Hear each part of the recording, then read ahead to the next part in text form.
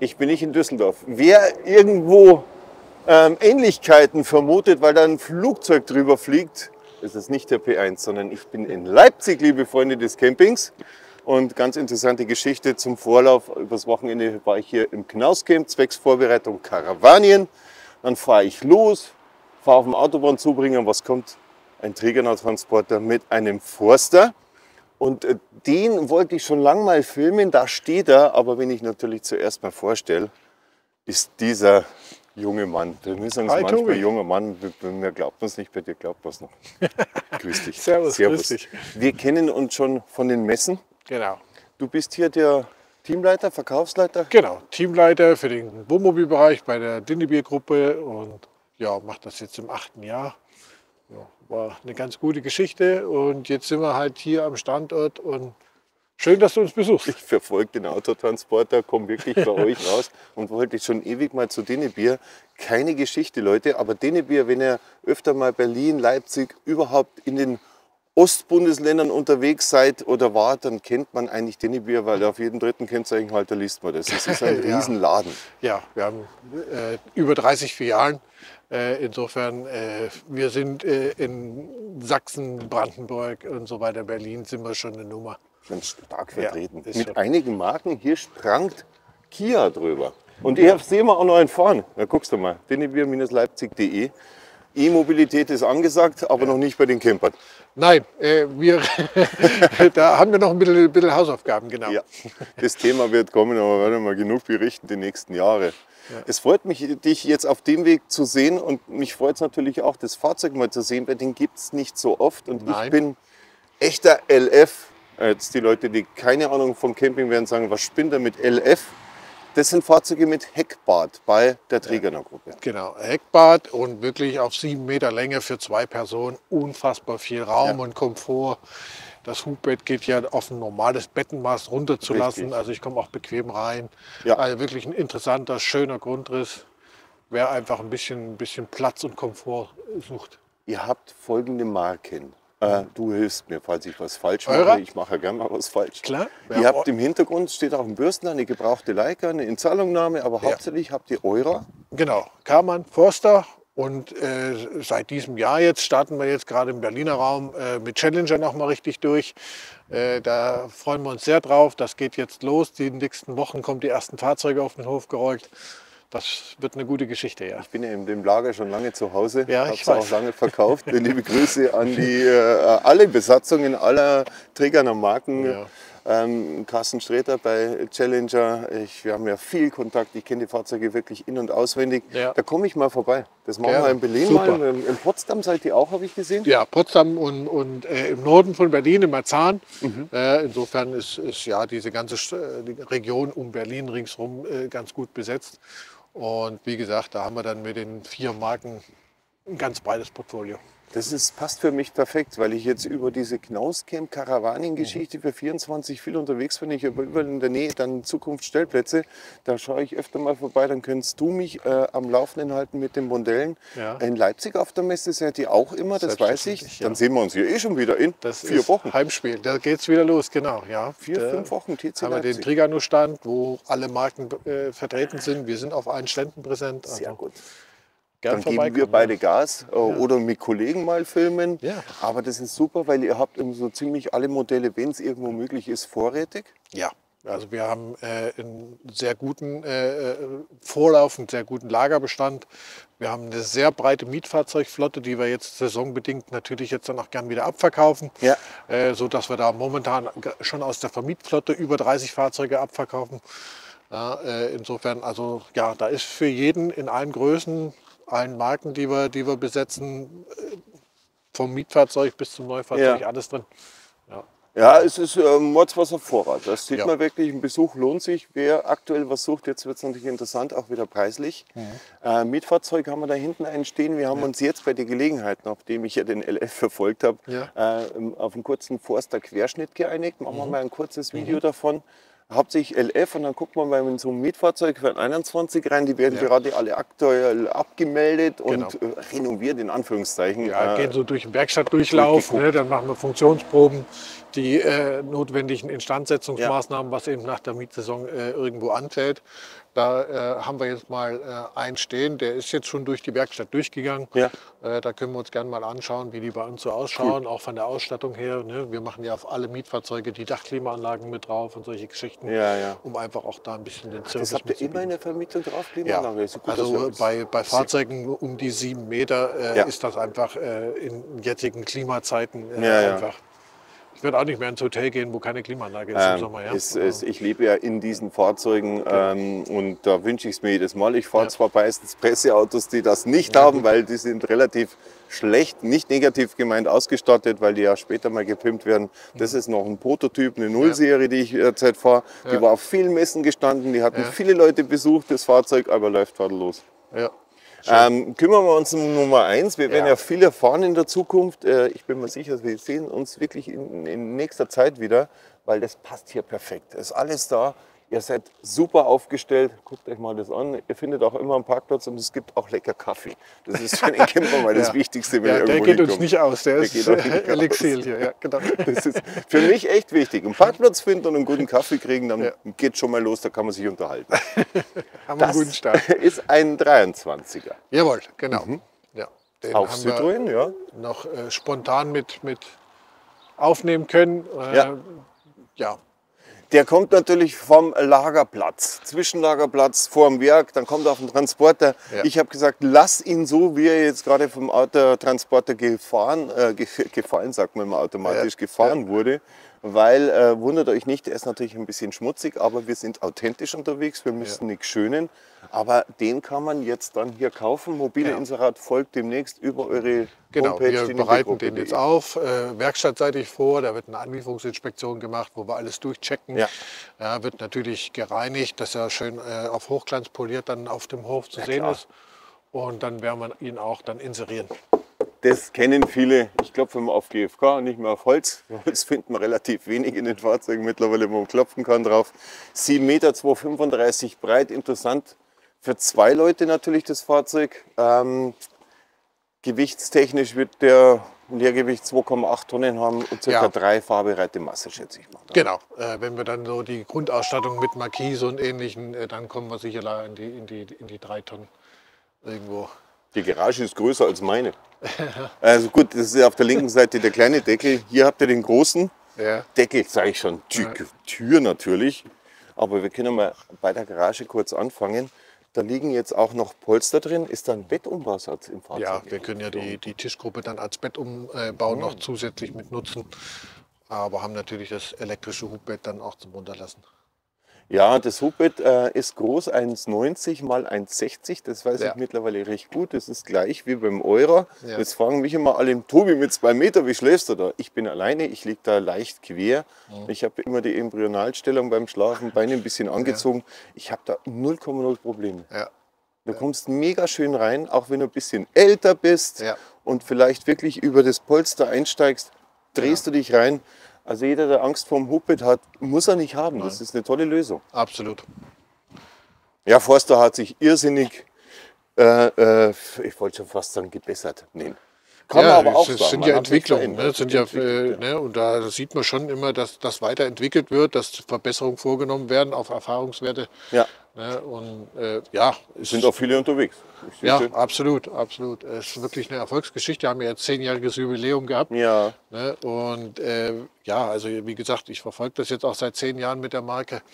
Das ist schon eine, eine schöne Geschichte, auch eine sehr emotionale Geschichte. das Schöne ist, du sagst, du verfolgst das seit zehn Jahren. Du bist ein, ein ich bin immer vorsichtig mit dem Begriff alter Hase. Das ist schon ein Running Gag mittlerweile, aber du bist selber Camper. Ja, Nicht einer, der Autoverkäufer und später mal gesagt hat, oh, verkaufen wir Camper, sondern das ist ein eigenes ich Ding. komme komplett aus der, aus der Schiene und Ja. Auch mit den Trigano-Marken, äh, das ist so ein, so ein Verwachsen über die, über, die lex, über die letzten 13 Jahre jetzt. Äh, ja, das äh, Das macht ist immer Spaß. wichtig, weil ich, ich habe nichts gegen Nicht-Camper. Ich rede auch mit Hotelschläfern, um Gottes Willen, aber wir leben hier im Campingzirkus und da ist die Identifikation Ja, eine ganz absolut. andere. Absolut. Da ist natürlich ein bisschen Zubehör noch fest ge- eingepackt Ja. mit äh, Verbandskasten, Kennzeichenträger, da kommen natürlich die Dinnebier, Kennzeichenhalter dann drauf. Logisch. Klar. Aber Riesengarage mit übrigens 300 Kilo äh, Bodenlast. Genau. Zuladungsmöglichkeit auf schlecht. 300 Kilo, genau. Toilettchen ist hier, ist auch auf der Markisenseite, sprich der Wohnseite. Ja, da sagen einige, ich will das da nicht haben, K.O.-Kriterium sollte auf der Rückseite sein. Leute, geht nicht anders. Innen ist das Bad und das Klo da. Genau. Ist immer irgendwo diese Kompromissfindung, aber wenn Ja. man drin das, das Raumgefühl sieht und diese Aufteilung hinten äh, im Badbereich, äh, das macht alles Sinn und hat alles Klar. auch irgendwo seine, seine Richtigkeit. Oft geht es nicht anders und eine Kröte musst du immer schlucken. Und wenn es nur die ist, äh, muss ich mal ehrlich sagen. Ja. Äh, Toilette, wenn wir das gerade ansprechen, ihr macht Autarkie, ihr macht Veränderungen, ihr macht Glasana, ihr Ja. macht äh, äh, Wechselrichter, alles was Wohnmobil Pimping angeht, oder? Genau. Wir Im haben sowohl die, die Ausbildung für unsere Mechaniker äh, um, mit 230 Volt Anlagen, Gas. Ja. Klesana ist natürlich jetzt ein Riesenthema gerade. Da sind wir komplett drin in dem Thema und können da das komplette Portfolio anbieten. Das ist immer wichtig. Äh, Gerade wenn man so eine Gruppe dahinter hat, die habt ihr hier am Standort, wie viele Mitarbeiter arbeiten in Leipzig? Also hier jetzt in Leipzig sind es Circa. 110. Boah, Äh, In der gesamten Gruppe sind wir schon über 1000 Mitarbeiter mittlerweile. Ja. Das ist schon da hast du schon einen richtigen großen Laden dahinter. Ja. Da wird schon darauf geschaut, dass jeder sie- die qualifizierten Ausbildungen hat. das Das, ist ist kein Hin zum Kunsthinterhofbetrieb. Ja. Also wir machen auch äh, für die Mechaniker diese Technikerausbildung Mhm. beim DCHV, wenn sie dann einmal angekommen sind bei uns, Ja. das ist ganz klar. Äh, und also Ausbildung und Fortbildung ist unabdingbar bei den Unabdingbar. technischen äh, Weiterentwicklungen ein Muss. Haben aber auch viele verpennt, kann ich ganz offen sagen. Und deswegen ja, das ist auch eine immer, Herausforderung. Ne? Ich war früher auch skeptisch. Ein Autogeschäft jetzt auf einmal Wohnmobile macht. Aber jetzt mittlerweile sind mir das die Liebsten, weil da kann ich mich einigermaßen auf einen Qualitätsanspruch verlassen. ja. Ist so. Ja, das ist klar. Da ist natürlich die Symbiose mit, den, mit dem Pkw-Bereich da. Ja. Äh, und da sind natürlich Standards, die im Wohnmobilbereich erst kommen. Ja, äh, und, äh, aber wie gesagt, diese technische Vielfalt im Aufbau äh, für, die, für die Mechaniker, es ist natürlich auch eine Herausforderung. Ne? Und deswegen musste da auch schulungstechnisch permanent dranbleiben. Ne? Wenn du das sehen würdest, was ich gerade sehe, dann müssten wir eigentlich einen Oscar der Campingindustrie für das Video geben, weil wir haben Forster. Wir haben den Baum mit dem, mit dem Forst dahinter. Wir haben die blaue, den blauen Himmel. Sieht Per- echt geil aus. Perfekt erwischt heute. Ich habe dich auch echt genötigt. Bitte, bitte, lass uns gleich ein Video machen, weil das müssen wir jetzt im Herbst natürlich sofort wahrnehmen, wenn es wettertechnisch auch schön ist. Und dann gibt es ganz andere Bilder. Face to face. Jawohl. Äh, Ich totaler Fan. Früher haben wir gesagt, nur Elsitzgruppe. Jetzt gibt es das, dann hast du Platz. Ja, also so eine Lounge mit so einem Raumgefühl, wenn, wenn ich hier abends äh, mit meiner äh, Dame des Herzens irgendwo gegenüber sitze. Ja. Ja, Den gibt es ja nur so auf Citroën. Oder Ja, in dem Fall ja. Anders? Ja. In dem Fall ja. Ja. Der Tisch, den hat man geändert. äh, Ich weiß gar nicht mehr wann, aber vor einiger Zeit. Und das ist jetzt richtig solide. Drückst du runter, schaltest du frei. Und da kannst du natürlich hier auch perfekt Die Platte äh, drehen, ja. die Platte drin. Und die hat halt endlich Auflage, dass du stabil ohne ein Hängen der Platte auch Ja. mal ein bisschen belassen kannst. Ja. Bitte nicht drauflegen oder da Sport drauf machen. Klar, es bleibt ein Leichtbautisch, aber das ist mega groß, das Ding. ja. So kann man das lassen. Abgenommen. also reinklappen, auch während der Fahrt. Natürlich gibt es die äh, Frontsitze, die Hecksitze. Ah. Ähm, die klappt man dann hoch. Ich habe den dritten, vierten. Gurt habe ich hier. Ne? Ich kann die, die, die, die Sitze entsprechend äh, hochklappen. Ja. Dann haben wir ein Hubbett drin und das Hubbett ist natürlich nicht wie beim integrierten vorne, was manche auch schätzen, sondern es ist auch groß genug. 1,90, das ist sogar ein bisschen breiter. Gell? Das Hubbett bei mir, Genau. nee, es hat 1,90, 1,60. Ich habe gestern sogar noch nachgeguckt. Ja. Da haben wir jetzt aber keinen Strom drauf. Wenn ihr Interesse habt, Genau. das zu sehen, kommt ihr mal vorbei. Wie gesagt, der ist jetzt unangetastet, gerade das erste Mal aufgemacht worden. Genau. Könnt Wenn wir die Batterie eingebaut haben und so weiter, der Werkstattdurchlauf, dann werden wir da auch Fotos präsentieren. von dir und deinen Kollegen zeigen lassen. Genau. Richtig. Und Ja, vielleicht schön kommen ist wir halt, noch der. Eingang bleibt trotz des Hubbetts frei. Ja, Ja, was in vielen Grundrissen äh, im teilintegrierten Bereich ja dann schon immer das Problem ist, ne? dass wir musst du dann die Tür äh, damit verstellen. Aber Ja. ja. ist einfach wirklich ein toller Grundriss. Da lässt sich schön schlafen. Wie gesagt, über die Polster kann man auch vorne einsteigen. Wenn die Sitze dann gedreht sind, das Genau. wisst ihr ja, dass das funktioniert. Ich denke immer an die, die Neulinge, ist immer so ein blödes Wort, an die Wohnmobil-Camping-Einsteiger, die wissen das teilweise auch noch nicht. Ich werde heute noch gefragt, kann man die Sitze drehen? Ja, man kann sie fast bei jedem Reismobil drehen. Also ich habe eigentlich noch keins gesehen, wo es nicht ging. Das ist schön gemacht vom Design her. Werdet ihr aber dann gleich gucken, im zweiten Teil gehen wir in den 24er rein, weil Ja. du hast schon 24er Genau. am Hof stehen. Forster hat dieses Jahr äh, für die 24er Modellreihe äh, ein neues Interieur präsentiert. Das können wir uns dann gerne mal anschauen. Aufgeforstet. Aufgeforstet, genau. Da wird der Horst Wirt wieder lachen. Schöne Grüße an Horst. Der guckt echt meine Videos. Das ist äh, der Vertriebsleiter bei, Bei Forster Forster, Deutschland äh, für Trigano und wir Genau. kennen uns halt alle Genau. seit Jahren. Und Mit viel Leidenschaft. Ich kenne ihn auch schon sehr lange. Aber hallo, genauso wie Ganz feiner Andreas. Poppe noch. Im Fallen haben wir ja, jetzt fahren wir fast alle durch, die kümmern sich um euch Händler und so weiter. Genau. Da kommt der Fernseher hin an die Wand oder wo auch immer ihr wollt. Smart TV ist ja immer mehr am, Mhm. am Kommen und werdet ihr auch kaum mehr Schüsseln verbauen oder doch immer noch. Gell? Ja, wir verbauen sie schon noch hauptsächlich, ne? aber da ist natürlich ein Wandel im Gange. Ne? Da gibt es Ja. auch eine Entwicklung. Ne? Ja, also ich war jetzt auf dem Stellplatz, da waren 23 Autos und ich habe in meinem WLAN-Verzeichnis 23 Netze Ja, gefunden. Da jeder schon einen Router dabei hat, der einen Hotspot aufgemacht hat. Den Kühlschrank liebe ich wirklich. Der ist kompakt, der ist in der richtigen Höhe und der hat auch ein schönes Fach unten drin. Ja. Das passt. Wir reden ja jetzt nicht von einem 5- oder 6-Stern-Auto. Das muss man auch gleich mal sagen. Forster hat annehmbare Qualität für echt faire Preise. Ja. Also Challenger, Forster, Karmann, das sind wirklich Fahrzeuge, ich sage mal Hotelsterne, drei bis vier Hotelsterne. Mhm. Aber da kriegt man noch eine Menge Auto fürs Geld. Ja. Preisdiskussionen, das seien mal dahingestellt. Alles ist Gut, teurer wir haben Preisentwicklung, da brauchen wir nicht drüber diskutieren. Die haben wir nun mal, das ist eine Realität, aber äh, es ist wirklich die Alternative im, in, in der Mittelklasse. Ne? Und mit Euro Aber- haben wir dann nochmal. Kann man, lass uns mal einmal miteinander winken ins Spiegel. Ein blöder Gag, das wir immer miteinander winken ins Spiegel. Ich hatte mal lustige, wir mal beim Challenger mit, dem, mit den beiden Türen. Ja, Wusstest du denn noch? Was war das? Nee, 287 war es nicht. Egal, vor ein paar Jahren Premiere.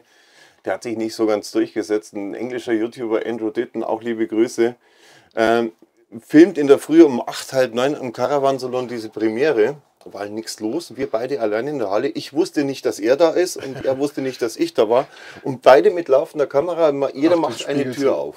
Und wir treffen uns im Auto und seitdem war das das Fahrzeug mit der Brexit-Door. Weil da wurde gerade der Brexit eben verhandelt. Und wir mussten so lachen, dass wir echt die Kamera ausmachen mussten. Das war nicht gestellt, aber einfach gefunden. Ja, ein Badtechnisch, klar ist da eine Stufe drin. Es ist kein Doppelbodenfahrzeug, aber trotzdem wintertauglich. Und ein Durchschlupf für Hunde, Hundebox, Weinkeller, Bierkeller, Getränkekeller, Lager. Auch da. Für mich eine wichtige Geschichte. ja, absolut. Wenn ich an die Getränke ran möchte und muss nicht raus, ne? ist Ja. natürlich eine feine Sache. Ich habe es vorhin auch probiert wegen Stehhöhe. Du weißt ja, äh, du guckst manchmal die Videos, oder? Bist du das? Ja, Gib's zu. doch. Jetzt hast du die Chance. Ja, Äh, hier habe ich weit über zwei Meter vor Ja. dem Sockel und ich habe auch hier genau meine 1,98,5. ja. Und in der Dusche geht es sogar wieder ein bisschen runter in die Duschtasse. Man geht nicht in Duschtassen, wo kein Schutz drin ist. Deswegen machen wir das nicht. Nagelneues Auto. Aber ich stehe da wieder mit zwei Meter voll und ganz aufrecht drin. Okidoki. Da, da. Und dann kommt natürlich dieser Megaschrank. Ich bin aber begeistert, dass die Kamera echt so gut aufhält. Siehst du mal, es ist eigentlich wesentlich Ja. dunkler, aber es ist echt herzeigbar. Und da kannst du Schon wirklich spektakulär, ne, der Stauraum. bunkern. Das ist wirklich groß. Ich finde, Ich habe ja trotzdem die große Heckgarage, ja. ja. Stimmt, der hat ja drüben noch diese große Tür oder Ja. war das ein anderer? Genau. Das ist der LF, da müssen wir noch hingucken gleich. Gell? Also, äh, da braucht sich keiner mehr beschweren. Zuladung dreieinhalb Tonnen solltet ihr mit vier hinkommen, aber man kann natürlich bei euch auch auflasten, wie auch immer. Wir können auflasten. Der Grundriss ist natürlich optimiert auf zwei Personen mit viel Platzbedarf. Ja, und, äh, aber wie gesagt, für vier Personen, klar, kann ich äh, auflasten. Kann Alle Möglichkeiten da, ob ihr Felgen, Reifen oder sonst was braucht, ihr habt ja einen großen Ansprechpartner. Da geht alles aus einer Hand, wenn man so schön sagt.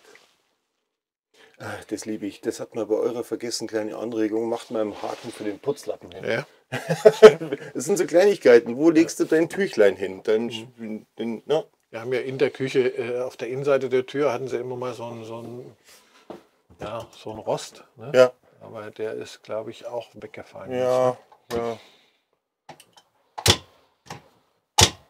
Normal. Ich sag's auch gleich dazu, hier ist kein Softclose drin. Ja. Es ist und bleibt ein Budgetauto, wie wir so schön sagen. Und das kostet Geld. Wenn du überall Softclose reinbaust und so weiter, dann bist du halt. Trotzdem haben wir doch recht solide Absolut. Scharniere. Ja. Ja. Und sogar drei. Ja. Da haben sie nochmal aufgemörtelt. Und auch Einlageböden. Fehlen oft auch komplett. Schön.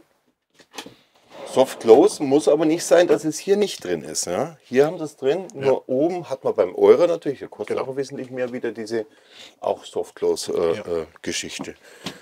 Ich vergesse immer die Küche näher anzuschauen, dann kriege ich immer geschimpft. Es sind wirklich überwiegend Damen, wobei ich jetzt äh, keine natürlich heutzutage hier diskriminieren möchte, aber überwiegend Damen sagen, Tobi, mach die Schubladen auf. Das kann die Mona von den Alfis besser. Die macht alles auf. Liebe Grüße an Mona. Bei der habe ich viel gelernt.